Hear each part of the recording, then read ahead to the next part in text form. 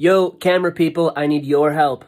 I'm working on my setup in Streamlabs and I can't get this like autofocus square to go away. Does anybody know how to do that? Please and thank you in advance.